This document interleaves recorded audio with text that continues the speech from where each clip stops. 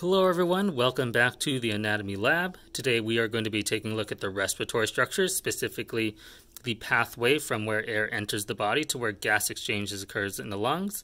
And to get started, let's take a look at what models that we have here. So first of all, on the right, you can see that you have a mid-sagittal plane of the inside of the head, which allows you to see a variety of different things, such as the cranial cavity, the nasal cavity, and the oral cavity.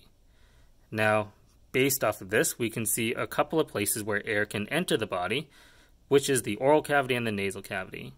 But just to be clear, you would prefer to have the air enter the nasal cavity because you have structures that are going to help with humidifying, warming, as well as cleaning the air as it enters your respiratory tract. So before it gets into your deeper respiratory system, you definitely want it to be acclimated to the body, which you can warm, humidify, but also clean the air so that you try to get rid of as many of the microbes or pathogens which might be in the air from the environment. Now, furthermore, let's start off where we would see air entering the body, which is at this hole. You can see it at the bottom of the nose, and you typically have two. Those are called nares or nostrils. So please use the word in your lab manual, but yeah, the nares are going to be the openings to the from the environment into the respiratory tract, which leads into your nasal cavity. Now, in the nasal cavity, you actually have these three kind of protrusions that go inward into the nasal cavity, and they kind of look like a shell like structure, which almost looks spiraling, but these structures are called conchae. And you have three different conchae the superior concha, middle concha, and inferior concha. Now, just to be clear, in other models, typically the, the superior concha is not very visible. It's usually very internal to the ethmoid bone and very hard to see. But at the very least, you can definitely see middle and inferior nasal concha.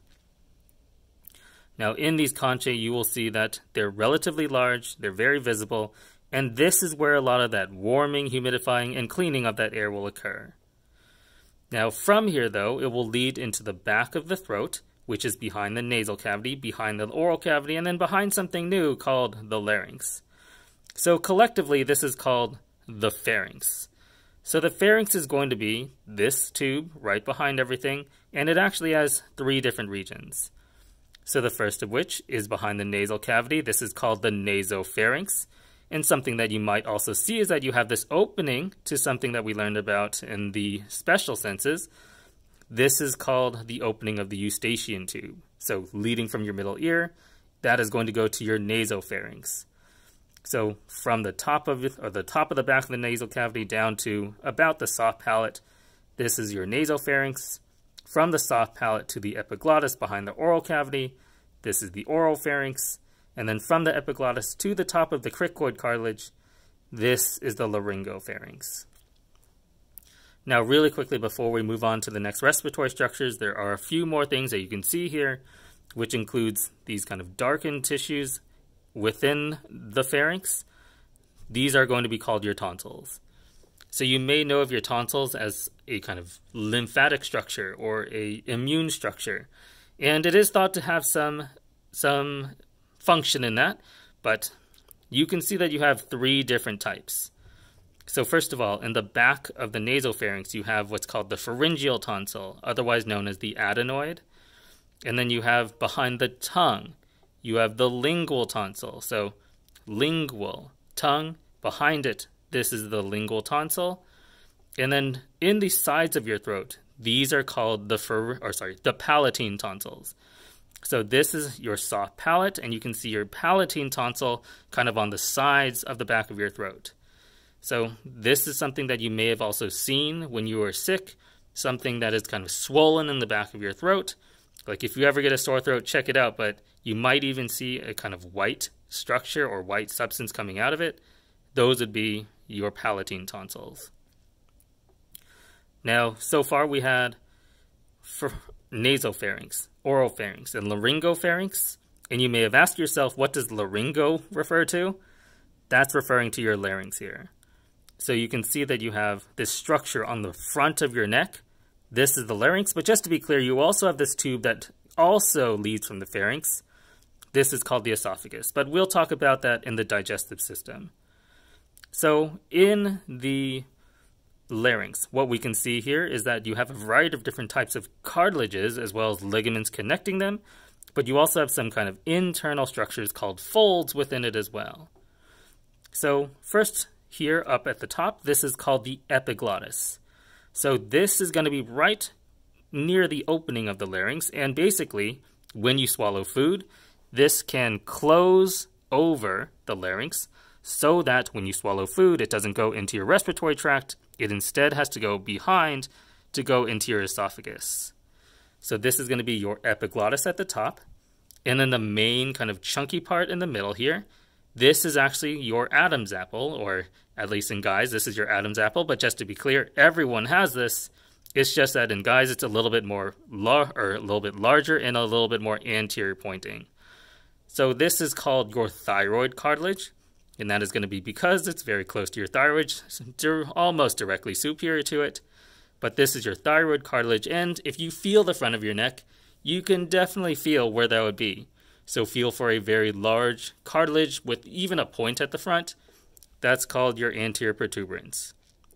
So this is going to be your thyroid cartilage, which is then going to be connected to a couple of other things. If you look closely, do you see this spongy bone in here? Do you see that very kind of porous bone up here? This is the hyoid bone, meaning that this is the thyrohyoid ligament. And then down here, you have what's called the cricoid bone. And the cricoid bone is actually going to be a little bit different between anterior and posterior sides because it is cut like in half, but on the anterior side it's slightly smaller, but on the posterior side it's a lot larger.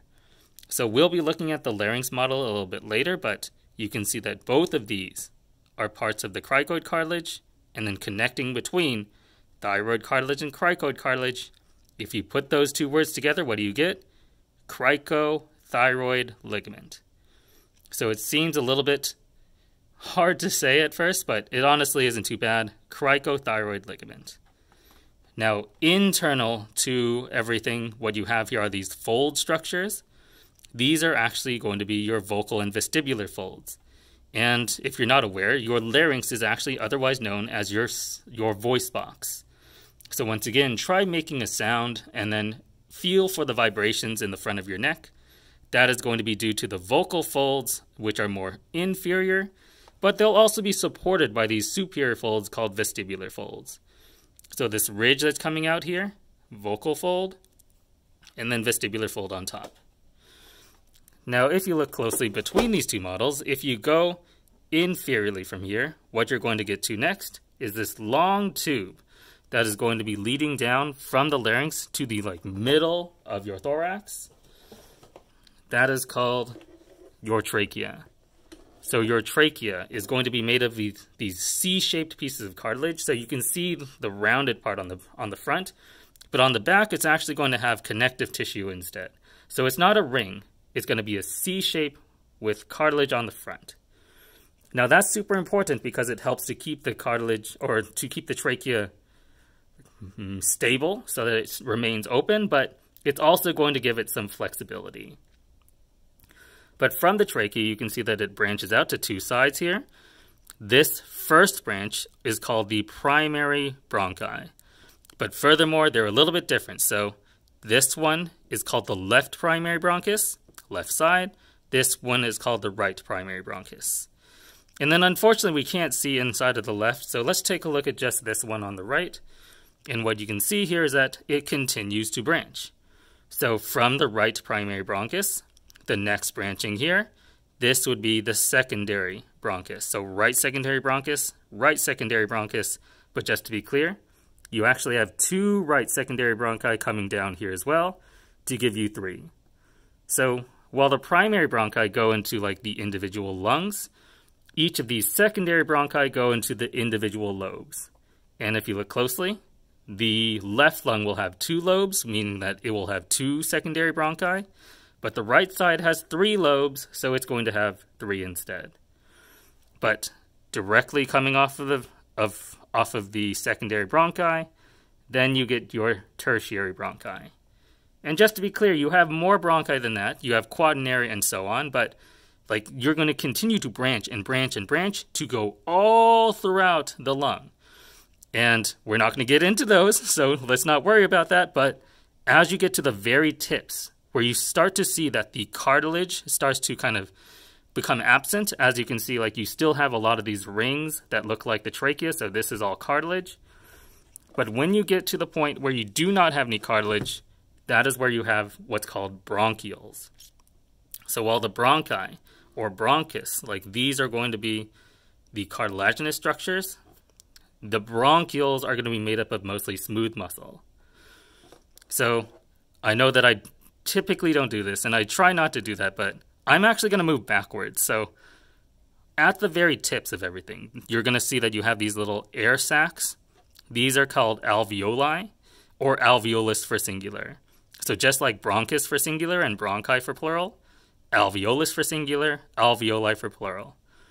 But what you'll see here is that connected to the alveoli, you should have this little duct called an alveolar duct, but that is not visible on this model. But what you can see is that you have this tube leading into it. These tubes that lead into the respiratory structures, these are called respiratory bronchioles. So respiratory bronchioles, these are going to come off of a terminal bronchiole, but the terminal bronchioles come off of just generally a bronchiole. So at the alveoli, that is where you're going to have what's called gas exchange. And you can see that the blood vessels go from red to blue, or sorry, from blue to red, sorry, blue to red, meaning that it's deoxygenated to oxygenated. But just as a reminder, like if this is carrying deoxygenated blood to the lungs, this is going away from the heart. So what kind of blood vessel this is this? This is an artery. Furthermore, it's a pulmonary artery. So carrying deoxygenated blood, this blue blood vessel is a pulmonary artery. And then this oxygenated blood going through a red blood vessel going to the heart, this is a pulmonary vein. So we'll be taking a look at more respiratory structures a little bit later, such as the larynx and respiratory muscles, but for now, I think that's good. So let's go ahead and finish up, and thank you for listening. Good luck with your studying, and I'll see you all next time.